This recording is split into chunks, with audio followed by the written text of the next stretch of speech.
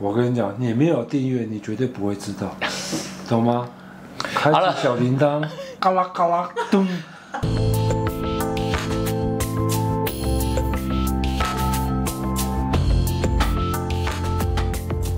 好了，我刚才要讲球员，哪个裁判最难搞？你直接讲了。CBA 裁判是不是很难搞？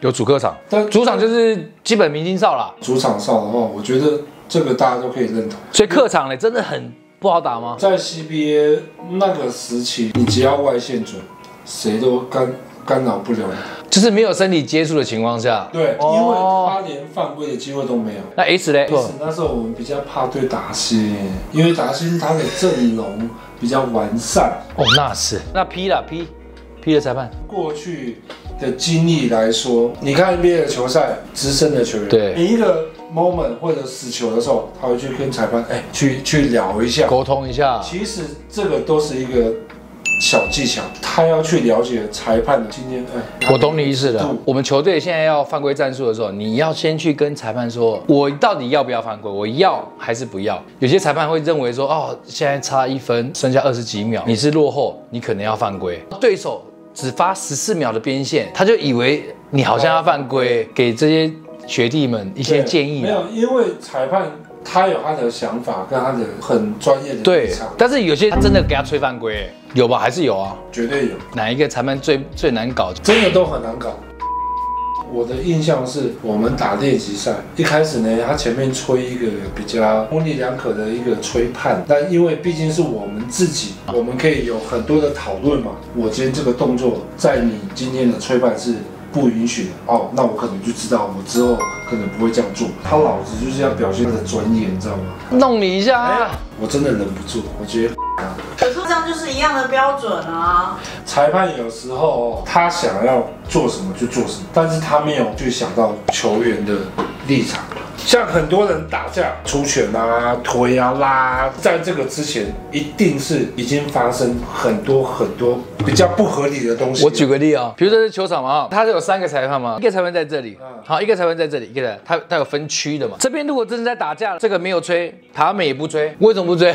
我上次真的问了，他回我什么，你知道吗？那个裁判没吹。如果今天要打架怎么办？以球员的立场来说，发生任何很多事情的时候，球队的资深球员像我就会去问，哎，刚刚那一球为什么这样子啊？可能裁判给了一个比较他的想法跟说法，那我会去告诉我的队员，哎，你不要再这样啊！打客场你一定会遇到主场的，这个是合情合理，合情合理了。这个只有我们打球才知道哦，哪一个客场？还能够说吗？你哥你看镜头，啊，哪一个主场上？两个换手之后，一个胯下之后再一个 stay back，确实是不好守啊。所以国王队打另外五个客场，最难打的就是富邦。你确会实不好打是富邦，打不赢的没有吧？领航员，真的难打吗？领航员就是可能他你知道落后的时候，他就是上身体嘛，像马老师一样嘛，啪啪啪啪啪啪啪，我难懂我懂，我懂。去那个领航员播球赛啊，然后我就告诉碰阿米，我说今天领航员很重要啊，如果再输的话就九连败了。他说，哎呀，这又不是你要担心的。对啊，我前三节就把它处理完了。我说你真的要这样子吗？你们那一场真的前三节就搞定了。对了，我那天跟那个浩呆聊，所以你有在做发型吗？怎么可能？我还需要做发型吗？我是最最不缺头发的，你知道吗？发型跟发型的造型，你在讲什么颜色啊？你可以染一个颜色啊。我不需要染发，不需要靠造型，因为我很认份，哦，你靠球技，好好打。好像打球。现在球队以我们球队来说，只要在进入第四节，不要超过十五分以上，我真的无法自拔。我第一个想法是，又让我当英雄了。其实我现在慢慢习惯，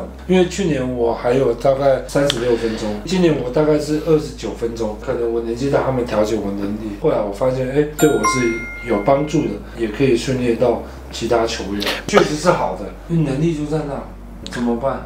实力小低调，实力不允许。Nice，在内地，它有一个体测，哦你觉得我们台湾要不要也尝试着用一种体测？体测不是测单单体能而已，它还要测技术，命中率一定要达到，然后体能就是一定要跑到，重训就是重量一定要达到。工会来说，我提过了，体检很重要，不管是对外援对本土球员。像那时候我们打 CBA，、回到球队的报道的第一天，一定就是去医院做一整个完整的，这很重要啊，这这个是对于球团一个保障。下个年度一定会实施。所以几个想要走漏洞的啊，好的，哇，有敏哥也不一样了哦。现在不管是 P 啊、T 啊还是 S 啊，有一些外援曾经有过一点点 NBA 资历的，他就拿翘。可是实际上，真的有经历过 NBA 资历一段时间的，真的非常自律，而且很在乎比赛。像那个我们在达新的时候 OJ 没有，，OJ 没有 OJ 没有，因为那时候我是执行教练，他说，哎，Coach。我还以为你要讲一整段英文。还呀，我等一下讲一讲，我连韩文都出来了。康萨米达，他意思是说，哎，教练怎么安排，我怎么做，我来就是要表现我最好的。没办法在 NBA 生存，当然是有另外一个原因嘛，可能受伤，可能什么家庭因素。对对，对。当他们到另外一个，比如说国家去寻求他们的第二春，他们反而会更谨慎，打得好，有机会回到 NBA，或者甚至可以到其他国家或者其他球队领取更好更好的。资对对对，明哥，你在家里扮演什么角色？要出门之前要做很多事情，是是？当然，因为你有小孩嘛，有小孩你一定要替另外一半去分担呐、对，比如说，哎，小孩的作业，作业你看得懂吗？我先我先讲好，你看得懂吗？目前小一还在加减呢、加减 OK 啦，还好没有除啊。老婆、教练、高中生他们都要称超，OK，你去。小孩上课呢，就是交给我嘛。漂亮。那你要准备早餐吗？当然啦、哎时间到送去。我最晚就是练到三点。那其实小孩是以我为为主，去接哦。对，对，我去接。所以早上也交给你了，下午接他也交给你了。确实几个园长跟班导师也是疯狂啦。园长跟班长是女生吗？男的疯狂我们就不多说了。多说。不要瞎掰好吗？为什么每次约你出来那么难？他很常出来倒垃圾哦。倒垃圾这个已经老梗了，大家就不要一直在用。要跟所有球迷讲，敏哥只要一出来倒垃圾就倒五个小时。双北真的要出来认真倒垃圾的，谁不认识我？早期呢，双北都还没有那么认真的去分类。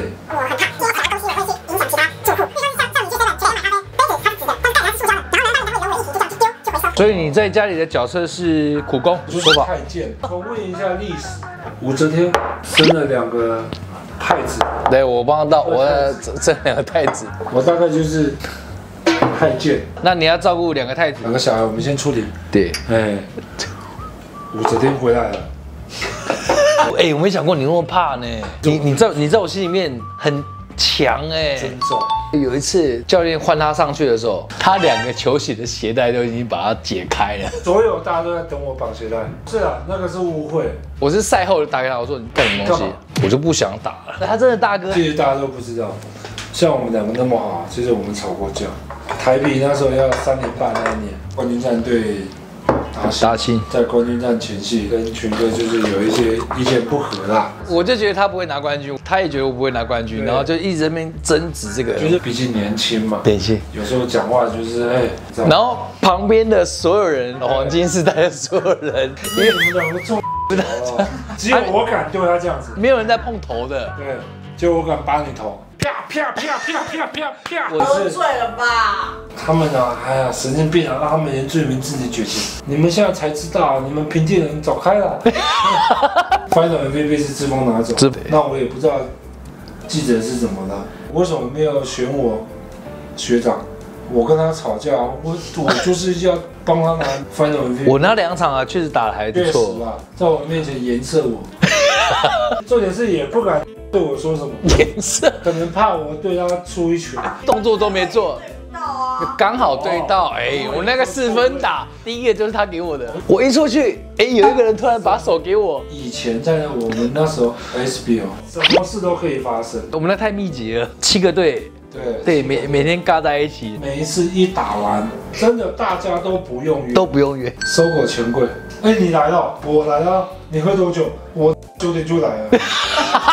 你打几点了？我打三点了。那时候钱柜还没有改建的时候，我们都喜欢包厢，一首歌我们就一人捐一百。一百块放哪里？那我就放在那个天花板石什么膜啊。后来改建，可能那工人就拿走了。我们考观众球迷一个问题，就是在我们那个年代，十五年前，十五年对对前唱歌的麦克风，不管是弄坏或者是弄丢了，找不到。多少钱？第一个送林志杰亲笔签名的 T 恤，第二个我们送林家双兄弟的亲笔签名 T 恤，你要去弄嘞、第三个是今年的冠军球队的全队签。第一个是三千五，第二个四千，第三个是五千五，啊，如果冠军不是你们嘞，无所谓。对，我们在乎那一两个冠军嘛。哎，敏哥真的大放送啊！各位三个奖项，杰哥啊、双林啊，然后跟冠军队了嘛。你们猜一下，我们那个十五年前那个麦克风到底多少钱？第一个三千五，第二个四千，第三个是五千五。在我们的频道的下方留言，随机抽，必须要订阅啊！发现没订阅了，那我可能就把它取消啊。你还想抽？我想看优先站，不然是你买票吗？我没有啊，就是像你。什么的想法？按赞跟订阅必须要有了，好不好？各各位各位、呃粉丝们粉丝们，好吧？各位粉丝们，擦，醒一下自己。谢谢单元，然后我欢迎最 m a g 的大来宾，然后我觉得我们下次改一个韩式烤肉。现在收尾，你可以让我收一下尾了吗？不是假设我们现在有那个磁盘，那我我我我讲前面的奖品，然后你然后你。好。好。好，三二一，呀，Q 这样子，双林啊，硕哥跟杰哥两个签名 T 恤，啊，第三个，对啊，双林不是啊，三个，林书伟，林书伟，没有林林书杰。题目你们刚刚讲了啊，要不要再重复一次？没有题目啊。你刚刚怎么会哦，对了，有，刚才有吗？等一下，看一下。第一个四千块。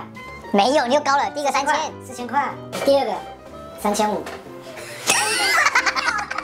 不是林志杰签名的 T 恤，对，签名签名的，对，签名呢，他很签名啊。懂了，懂了，我懂。为什么你们懂了？我懂了。那再重复一下哦、第一个，不要不要再重复。那我们今天还是好了，啊，下一次我们再好好聊一下了。今天确实有点超乎自己的想象。三个礼物，记得留言，我再送回去，好吧？早点休息对，没早点休息啊。好了，好了，没什么没什么可以招待你的了，谢谢，好不好谢谢来。来。很开心，今天啊，我邀请到我的敏哥，我也希望可以让现在所有频道的观众看到我们的很多的不一样的生活。未来我还是邀请很多的来宾，然后来到我们现场，然后跟大家分享。请持续的关注我们的午后时光，订阅、按赞、分享小铃铛，拜拜。残缺的温柔，我好久没听这首歌，叶爱你爱戴你，到底在干嘛呢？下次我找代理送送节目。